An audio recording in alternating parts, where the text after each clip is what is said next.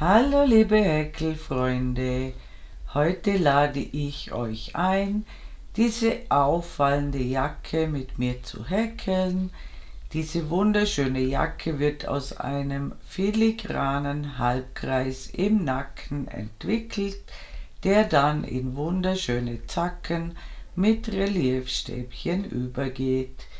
Die Traumjacke sieht sehr raffiniert aus, ist aber einfach nachzuarbeiten. Ihr müsst nur genau und aufmerksam arbeiten und darauf achten, dass die angegebenen Zahlen immer stimmen. Die Anleitung beginnt für alle Größen gleich.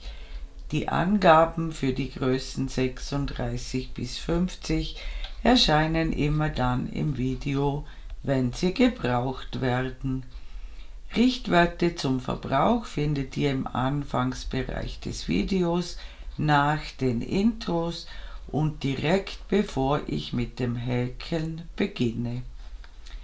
Falls ihr Interesse an einem von mir persönlich handgefertigten Modell habt oder jemanden damit beschenken wollt, ab sofort gibt es einige meiner Vorführmodelle käuflich zu erwerben.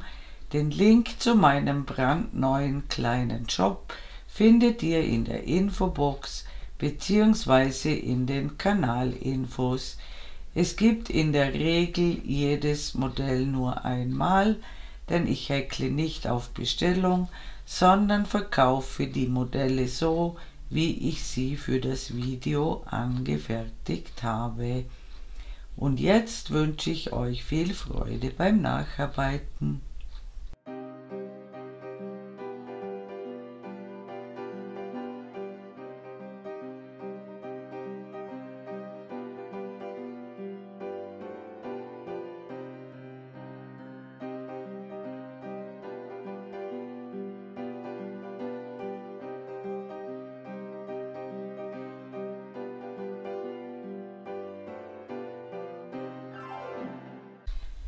Für diese traumhaft schöne Jacke habe ich zwei dreifädige entgegengesetzt gewickelte Bobbel mit dem Namen Schneewolf von Sabine Helfers meine Bobbelträumerei verwendet.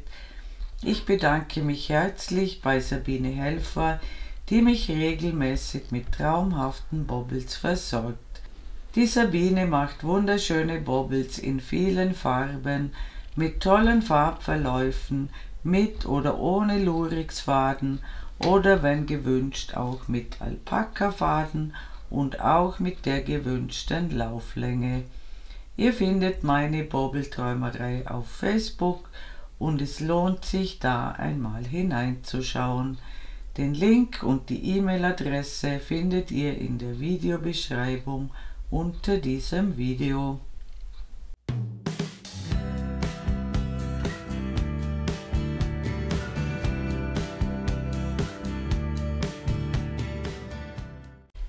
Ich beginne von innen nach außen mit der hellsten Farbe. Ich verarbeite den ersten Bobbel von hell nach dunkel und den zweiten dann später von dunkel nach hell. Und ich verwende eine Häkelnadel 3,5 mm. Ich beginne mit einer Anfangsschlinge ich häkle sieben Luftmaschen.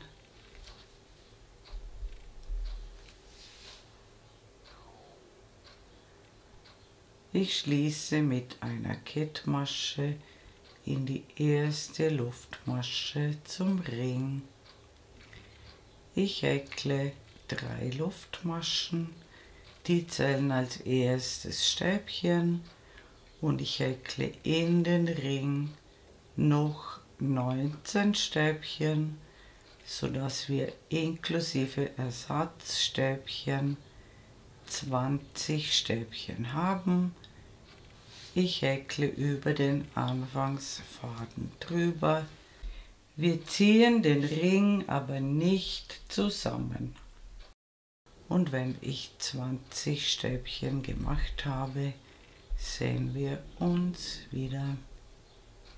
Willkommen zurück. Ich habe genau 20 Stäbchen gehäkelt inklusive Ersatzstäbchen. Wir schließen nicht zur Runde, sondern wenden die Arbeit. Wir starten mit drei Luftmaschen.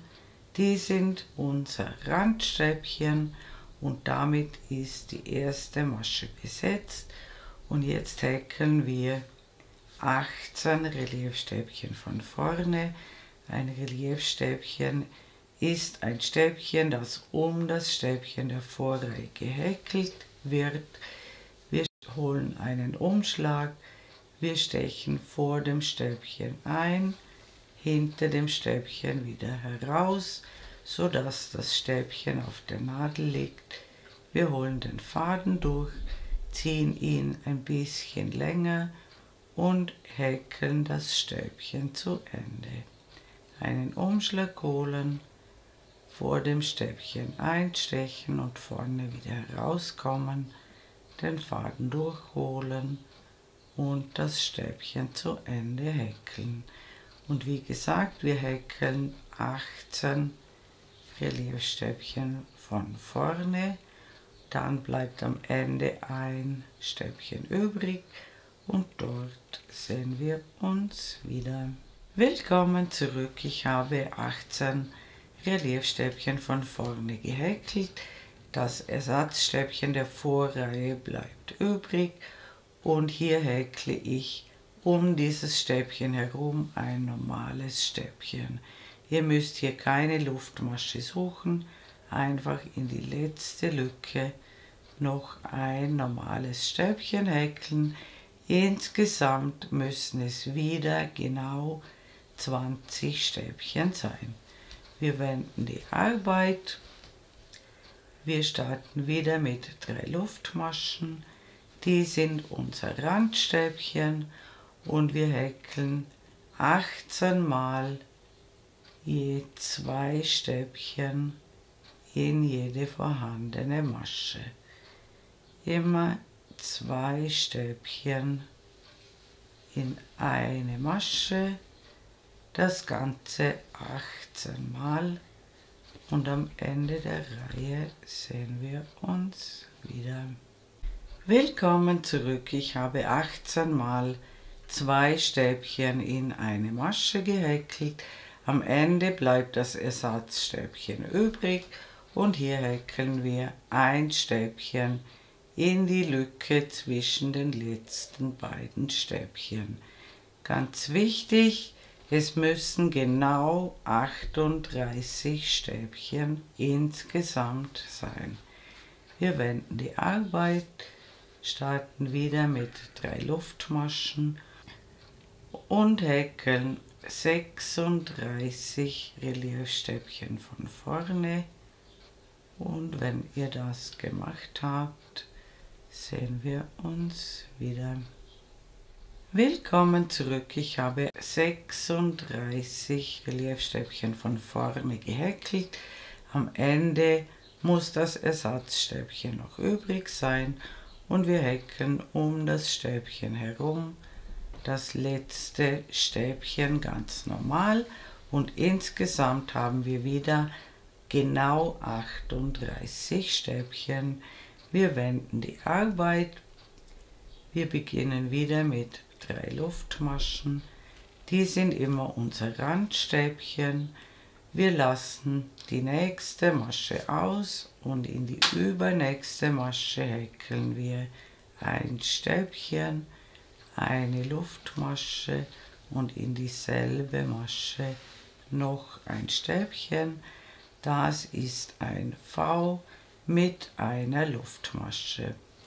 Wir lassen immer eine Masche aus und in jede zweite Masche ein Stäbchen, eine Luftmasche, ein Stäbchen. Eine Masche auslassen und in jede zweite Masche häkeln wir ein V und am Ende der Reihe sehen wir uns wieder. Willkommen zurück. Ich habe genau 18 V gehäkelt. Ich bin auf dem vorletzten Stäbchen gelandet. Das passt. Es bleibt nur das Ersatzstäbchen übrig. Und hier häkeln wir wieder in die Lücke um das Stäbchen herum ein normales Stäbchen. Wichtig ist, es müssen genau 18 V sein und wir wenden die Arbeit. Wir starten wieder mit drei Luftmaschen und wir häkeln jetzt in die Faust, wieder Faust, aber ein bisschen größer. Wir häkeln ein Stäbchen, zwei Luftmaschen und noch ein Stäbchen in das V. Wir springen zum nächsten V und häkeln wieder ein Stäbchen, zwei Luftmaschen und ein Stäbchen. Und es ergeben sich wieder 18 V, nur diesmal mit zwei Luftmaschen. Und am Ende der Reihe sehen wir uns wieder. Willkommen zurück, ich habe wieder genau 18 V erhalten und häkle um das Ersatzstäbchen herum ein Randstäbchen. Die Form ist ungefähr so, es ist also mehr als ein Halbkreis. Wir wenden die Arbeit. Die nächste Reihe ist ähnlich. Wir starten mit drei Luftmaschen und häkeln in die V wieder V und zwar diesmal mit drei Luftmaschen. Immer von V zu V springen und in die Faust wieder Faust häkeln und zwar immer ein Stäbchen, drei Luftmaschen und ein Stäbchen. Es ergeben sich wieder 18 V und am Ende der Reihe sehen wir uns wieder. Willkommen zurück. Ich habe meine 18 V gehäkelt und nie vergessen, in die letzte Lücke brauchen wir immer unser Randstäbchen. Und wir wenden die Arbeit. Wir starten wieder mit drei Luftmaschen und jetzt häkeln wir in jedes V. Zwei Stäbchen, zwei Luftmaschen. Und noch einmal zwei Stäbchen. Wir springen ins nächste V. Und in jedes V häkeln wir zwei Stäbchen, zwei Luftmaschen und noch einmal zwei Stäbchen. Es ergeben sich genau 18 solche Gruppen und am Ende der Reihe sehen wir uns wieder. Willkommen zurück. Ich habe 18 Gruppen gehäkelt. Nicht vergessen, am Ende in die letzte Lücke unser Randstäbchen. Wir haben jetzt acht Reihen gemacht. Das ist die Basis der Jacke und ab jetzt beginnt der Mustersatz und der Mustersatz besteht aus zwei Reihen. Die erste Musterreihe ist eine Hinreihe, das erkennt ihr gut an den Reliefstäbchen. Und in der ersten Musterreihe machen wir immer Zunahmen und in der zweiten Musterreihe machen wir keine Zunahmen. Die erste Musterreihe startet mit drei Luftmaschen, wie auch alle anderen. Und jetzt überspringen wir die nächste Masche und in das Stäbchen vor der Lücke häkeln wir ein Stäbchen in die Lücke häkeln wir zwei Stäbchen, zwei Luftmaschen und noch einmal zwei Stäbchen. Und dann noch ein Stäbchen nach der Lücke auf das erste Stäbchen, so dass wir jetzt auf beiden Seiten dieser Lücke drei Stäbchen haben. Dann immer zwei Maschenköpfe genau auslassen. Wir landen auf dem Stäbchen vor der Lücke. Hier häkeln wir ein Stäbchen. In die Lücke häkeln wir immer zwei Stäbchen, zwei Luftmaschen und zwei Stäbchen. Und ein Stäbchen nach der Lücke. Und zwischen den Gruppen immer zwei Maschenköpfe auslassen, ein Stäbchen bis zur Lücke, in die Lücke zwei Stäbchen, zwei Luftmaschen und noch einmal zwei Stäbchen und ein Stäbchen nach der Lücke. Das sieht so aus. Jede Gruppe muss nun zweimal drei Stäbchen haben. Und das machen wir bei allen Gruppen gleich. Und am Ende der Reihe sehen wir uns wieder. Willkommen zurück, ich bin am Ende der Reihe angekommen. Hier bleiben ein normales Stäbchen und das Ersatzstäbchen übrig nach der letzten Gruppe und wir häkeln um das Ersatzstäbchen herum ein Stäbchen.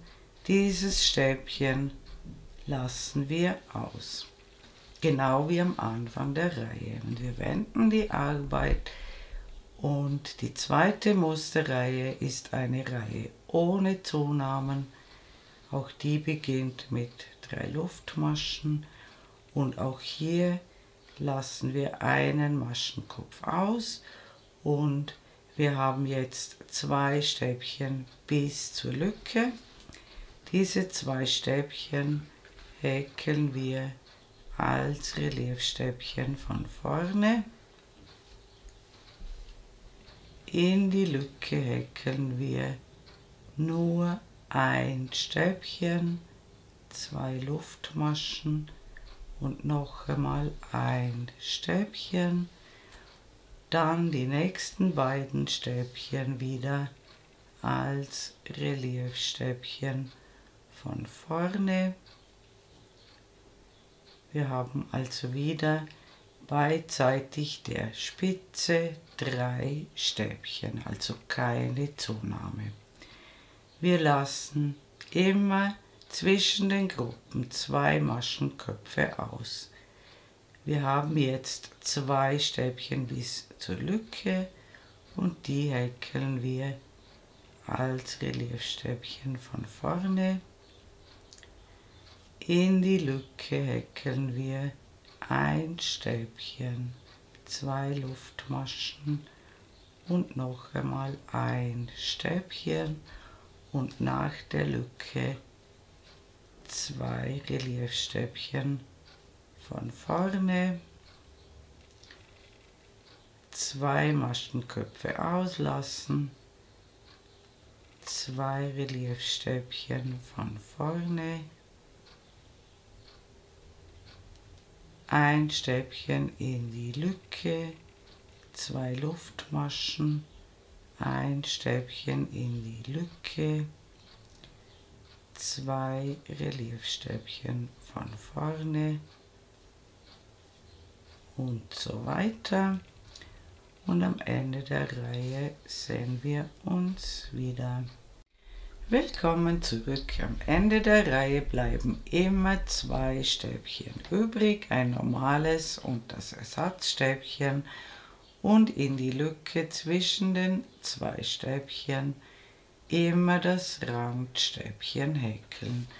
Von vorne sieht es so aus. Wir erhalten diese wunderschönen Stege und jetzt kommt schon wieder die erste Musterreihe und die ist immer eine Reihe mit Zunahmen. Alle Reihen beginnen mit drei Luftmaschen. Wir lassen immer den zweiten Maschenkopf aus und wir häkeln alle Stäbchen, die bis zur Lücke vorhanden sind. Im Moment sind es zwei. Und in der Hinreihe, in der ersten Musterreihe, häkeln wir ins V immer zwei Stäbchen, zwei Luftmaschen und zwei Stäbchen. Und nach der Lücke gleich viele Stäbchen wie vor der Lücke. In diesem Fall zwei. Zwischen den Lücken müssen immer zwei Stäbchen ausgelassen werden. Dann häkeln wir alle Stäbchen, die bis zur Lücke vorhanden sind und in die Lücke zwei Stäbchen, zwei Luftmaschen noch einmal zwei Stäbchen und nach der Lücke in dieser Reihe ebenfalls noch zwei Stäbchen. Wir haben jetzt auf beiden Seiten der Spitze vier Stäbchen. Und das machen wir die ganze Reihe so. Und dann sehen wir uns wieder. Willkommen zurück, ich bin am Ende der Reihe angekommen. Diese Hinreihe darf sich immer ein bisschen wellen, das ist bei mir auch so. Nicht vergessen am Ende zwischen die letzten beiden Stäbchen ein Randstäbchen und immer ein Stäbchen bleibt hier frei nach der Gruppe.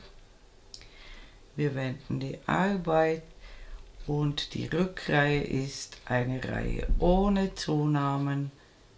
Wir häkeln drei Luftmaschen, auch hier lassen wir immer ein Stäbchen aus. Und jetzt häkeln wir die Stäbchen, die vorhanden sind, bis zur Lücke. Als Reliefstäbchen von vorne und in die Lücke häkeln wir ein Stäbchen, zwei Luftmaschen und ein Stäbchen und nach der Lücke wieder dieselbe Anzahl Reliefstäbchen von vorne wie vor der Lücke. In dieser Reihe sind es drei und wir haben genau wie in der Vorreihe auf beiden Seiten vier Stäbchen. Und wir landen immer so, dass die nächsten beiden Maschenköpfe ausgelassen werden. Und wir starten hier wieder mit den Reliefstäbchen von vorne bis zur Lücke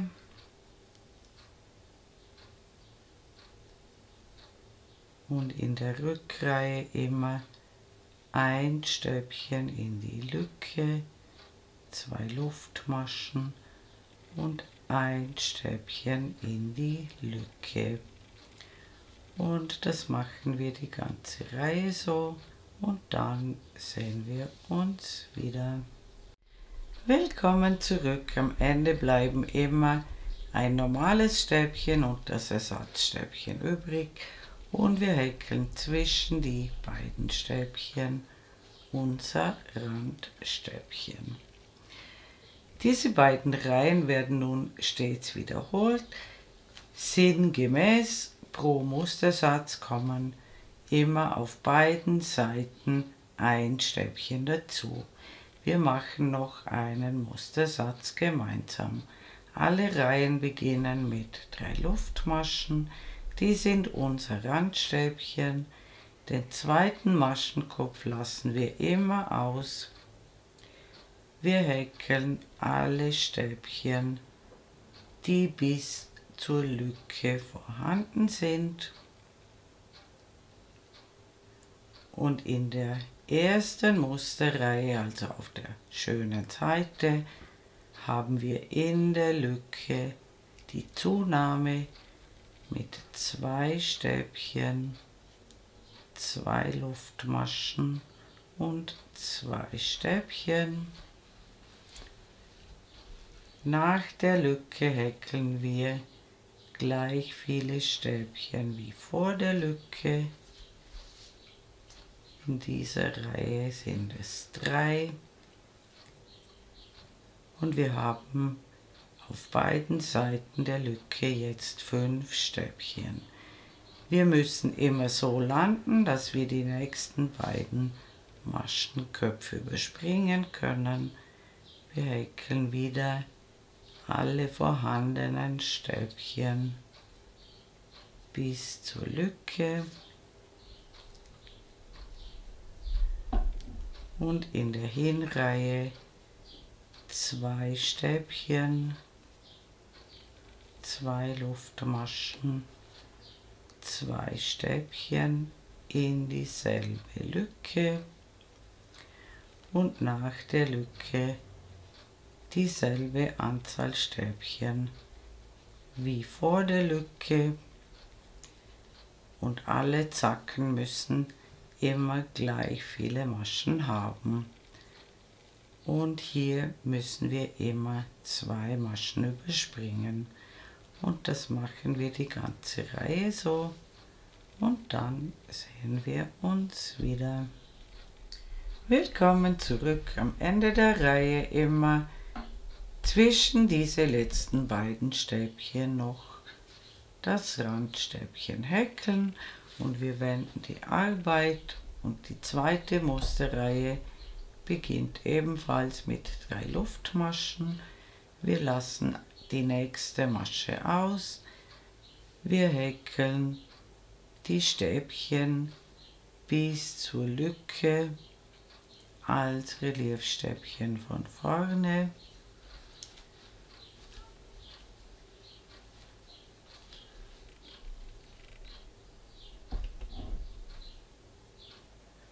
Und in die Lücke ein Stäbchen, zwei Luftmaschen und ein Stäbchen. Das heißt, die Maschenzahl bleibt im Vergleich zur Vorreihe unverändert. Wir hatten hier zum Beispiel fünf Stäbchen und hier haben wir wieder fünf. Auf der anderen Seite häkeln wir dieselbe Anzahl Reliefstäbchen wie vor der Lücke.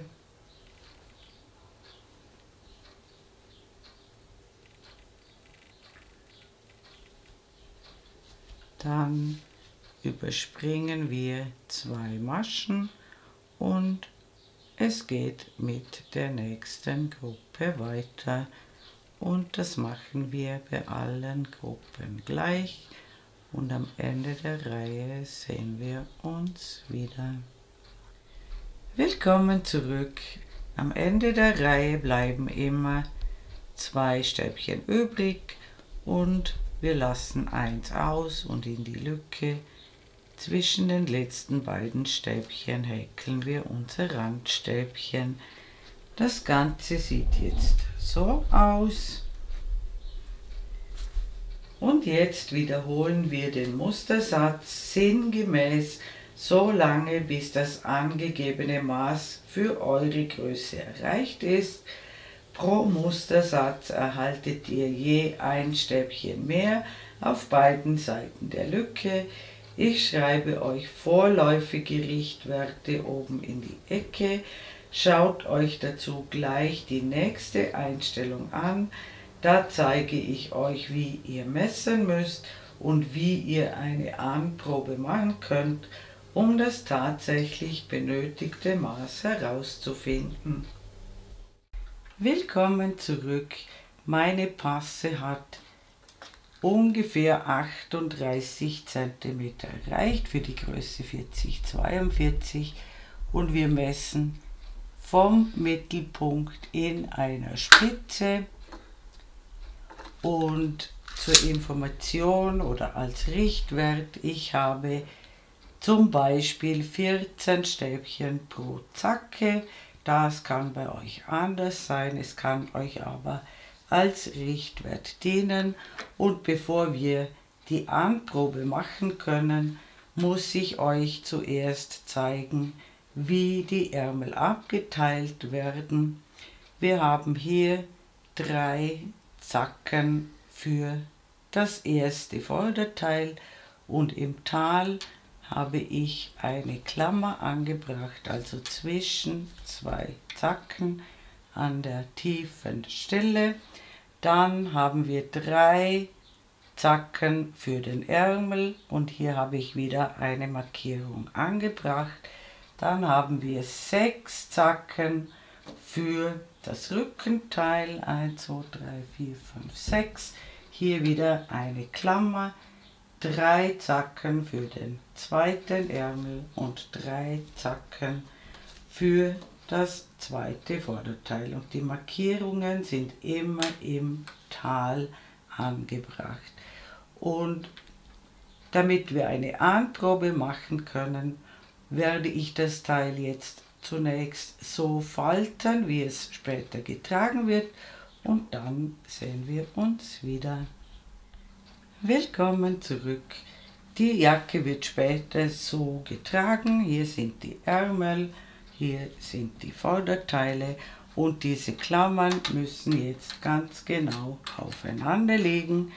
Dann könnt ihr die Klammern vorläufig wieder entfernen und hier durch die Lücken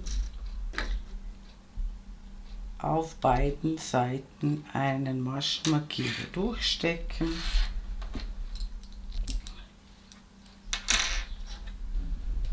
sodass die Ärmel provisorisch abgeteilt sind. Und so könnt ihr eine Anprobe durchführen und das muss locker passen. Das merkt ihr gleich, wenn ihr hineinschlüpft.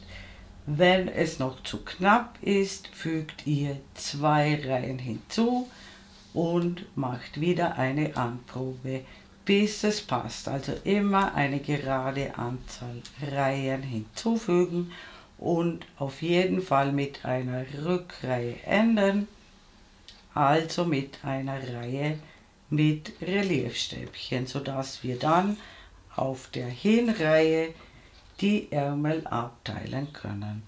Und wenn die Anprobe erfolgreich ist, dann machen wir wieder die ursprüngliche Einteilung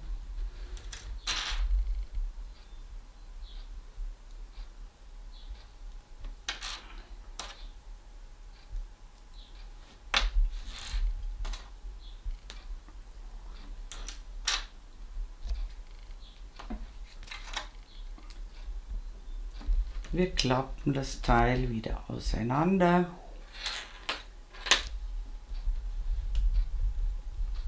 Und wie gesagt, wir befinden uns auf der schönen Seite, da wir mit einer Rückreihe geendet haben. Und ab jetzt mache ich keine Zunahmen mehr. Wir starten wie immer mit drei Luftmaschen. Wir lassen wie immer das nächste Stäbchen aus und wir häkeln alle Stäbchen bis zur Spitze und dort sehen wir uns wieder. Willkommen zurück. Da wir jetzt keine Zunahmen mehr machen, häkeln wir auch in dieser Reihe, in der Hinreihe nur ein Stäbchen, zwei Luftmaschen und ein Stäbchen in die Lücke. Das heißt, ab jetzt habt ihr immer dieselbe Anzahl an Stäbchen wie in dieser letzten Reihe vor dem Abteilen der Ärmel. Und jetzt häkeln wir bis zum Maschenmarkierer im gewohnten Muster, nur eben dass wir in die Spitze immer nur ein Stäbchen, zwei Luftmaschen und ein Stäbchen häkeln. Ansonsten ist das Muster genau wie immer und wir sehen uns beim Maschenmarkierer wieder. Willkommen zurück. Ich habe drei Zacken gehäkelt bis zum Maschenmarkierer. Auch hier im Tal ist es ganz genau wie immer, immer diese beiden Maschen überspringen. Wie gesagt, das Muster bleibt genau gleich wie vorher, nur dass wir keine Zonamen mehr machen.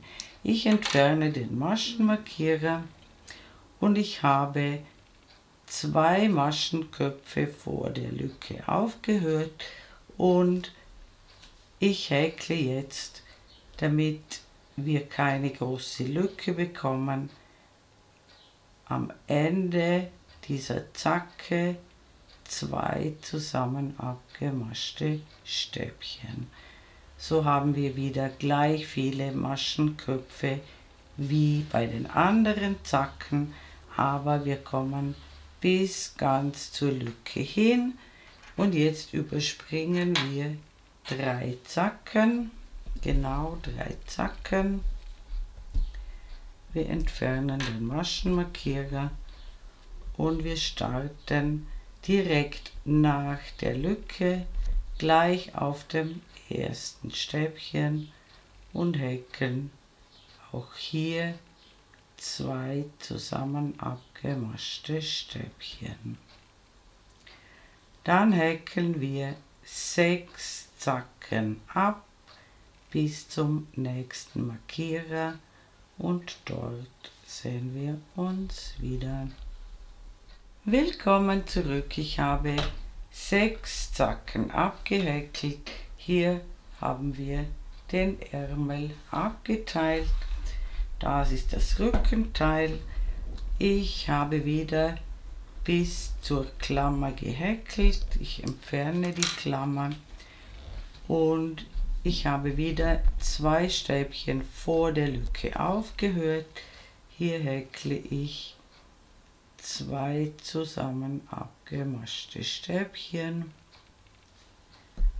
und wir überspringen wieder drei Zacken, entfernen die Klammer und starten direkt nach der Lücke wieder mit zwei zusammen abgemaschten Stäbchen und dann häkeln wir die letzten drei Zacken bis zum Ende der Reihe und dort sehen wir uns wieder. Willkommen zurück, ich bin am Ende der Reihe angekommen und auch das Ende ist genau wie vorher auch. Das letzte normale Stäbchen lassen wir aus und häkeln ein Stäbchen ganz am Rand um das Randstäbchen. Jetzt haben wir die Ärmel abgeteilt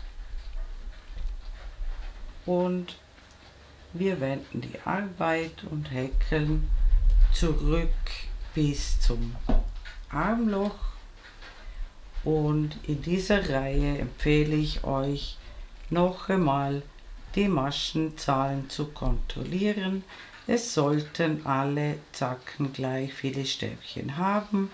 Sollte es tatsächlich einmal um ein Stäbchen nicht stimmen, ist das kein Drama, dann gleicht ihr das entweder durch eine Abnahme oder durch eine Zunahme aus. Eine Abnahme macht man mit zwei zusammen abgemaschten Stäbchen und eine Zunahme zum Beispiel durch zwei Stäbchen in eine Masche. Wir starten wie immer mit drei Luftmaschen und lassen den nächsten Maschenkopf aus und ich häkle jetzt in dieser Rückreihe keine Reliefstäbchen, sondern ganz normale Stäbchen und wir häkeln wie gesagt bis unter dem Arm und dort sehen wir uns wieder. Willkommen zurück, ich habe wieder die drei Zacken für das Vorderteil abgehäkelt. Hier haben wir den Ärmel abgeteilt und wir überspringen wie immer diese beiden Maschenköpfe zwischen den Zacken und häkeln im gewohnten Muster weiter. Wie gesagt, alle Zacken sollten gleich viele Stäbchen haben, ansonsten ausgleichen und beim anderen Arm macht ihr das genau gleich und am Ende der Reihe sehen wir uns wieder. Willkommen zurück, ich habe die Reihe beendet und jetzt folgt eine vollkommen identische Reihe. Wir befinden uns auf der schönen Seite und wir häkeln eine Reihe mit Stäbchen, genau gleich wie die vorherige. Wie gesagt, die Anzahl der Stäbchen bleibt jetzt immer unverändert und am Ende der Reihe sehen wir uns wieder. Willkommen zurück, ich habe die Reihe beendet. Wir wenden die Arbeit. Wir befinden uns auf der Rückseite. Wir starten mit drei Luftmaschen und jetzt häkeln wir genau gleich wie oben bei der Passe die Rückreihe mit Reliefstäbchen von vorne. Die Reihe kennt ihr schon. Sie ist absolut identisch mit den Reihen, die wir oben bei der Passe gemacht haben. Auch hier bleibt die Maschenzahl unverändert. Und am Ende der Reihe sehen wir uns wieder. Willkommen zurück. Ich habe die Reihe beendet mit den Reliefstäbchen und jetzt häkeln wir die Jacke folgendermaßen weiter. Ich häkle immer drei Reihen mit normalen Stäbchen und dann eine Reihe mit Reliefstäbchen. Und ich schreibe euch einen Richtwert für die Gesamtlänge oben in die Ecke und zwar vom Mittelpunkt in der Mitte gerade hinunter gemessen. Wie gesagt, immer drei Reihen normale Stäbchen und eine Reihe Reliefstäbchen. Und ansonsten bleibt das Muster genau gleich und auch die Stäbchenzahl pro Zacke bleibt unverändert, bis die Gesamtlänge erreicht ist und wir enden mit einer Hinreihe, das heißt mit einer Reihe auf der schönen Seite, sodass wir hier dann enden und dann können wir gleich die Kanten behäkeln. Und wenn ihr soweit gekommen seid, sehen wir uns wieder. Willkommen zurück. Meine Jacke hat die gewünschte Länge erreicht und wir haben mit einer Hinreihe geendet. Wir befinden uns auf der schönen Seite, das ist das im Tragen rechte Vorderteil. Und wir behäkeln jetzt die vorderen Kanten. Und dazu steige ich auf eine Häkelnadel Nummer 4 um. Ich mache feste Maschen und damit die nicht winzig klein werden, nehme ich eine halbe Nummer mehr. Ich häkle eine Luftmasche und häkle dann um jedes Randstäbchen herum zwei feste Maschen. Immer von Lücke zu Lücke springen und zwei feste Maschen häkeln und die Kante immer wieder schön in Form ziehen und auch hier oben würde ich in den Anfangsring zwei feste Maschen häkeln. Den Faden könnt ihr überhäkeln, dann ist er gleich versorgt und wir häkeln bis zur anderen Seite wieder bis zur unteren Kante der Jacke. Und wenn ihr das gemacht habt, sehen wir uns wieder. Willkommen zurück. Ich bin wieder am unteren Rand der Jacke angekommen und ich habe mir hier markiert, wo ich das Knopfloch haben möchte. Das findet ihr am besten durch eine Anprobe heraus. Ich habe als Richtwert vom Anfangsring bis zur Klammer 30 cm hinunter gemessen, aber wie gesagt, macht eine Anprobe, denn das kann bei euch auch ein bisschen anders sein. Und jetzt häkeln wir die Reihe wieder zurück bis zur Klammer. Wir beginnen mit einer Luftmasche und starten im ersten Maschenkopf wieder mit den festen Maschen und häkelt auch hier die festen Maschen nicht winzig klein und zieht die Kante immer wieder in Form. Und wenn ihr bei der Klammer angekommen seid, sehen wir uns wieder. Willkommen zurück, ich bin bei der Klammer angekommen. Ich entferne die Klammer und ich mache nur ein kleines Knopfloch, da ich einen kleinen Knebelknopf verwende. Das heißt, ich mache nur zwei Luftmaschen, überspringe zwei Maschen und häkle dann wieder feste Maschen. Die Größe des Knopflochs hängt natürlich von der Größe des Knopfes ab. Entsprechend müsst ihr mehr Maschen überspringen und gleich viele Luftmaschen machen. Dann häkeln wir die Reihe zu Ende und wieder zurück und ins Knopfloch gleich viele feste Maschen, wie ihr Luftmaschen gemacht habt. Und dann haben wir drei Reihen feste Maschen und dann ist die Abschlusskante fertig. Dann solltet ihr die Abschlusskanten anfeuchten, in Form ziehen und zum Beispiel auf einem Tisch liegend trocknen lassen. Und dann ist unsere wunderschöne Jacke fertig. Liebe Häkelfreunde, ich bedanke mich herzlich fürs Zuschauen. Ich hoffe, ihr habt viel Freude beim Häkeln dieser tollen Jacke und mein nächstes Video ist schon in Arbeit. Ich würde mich sehr freuen, wenn ihr meinen Kanal abonnieren würdet.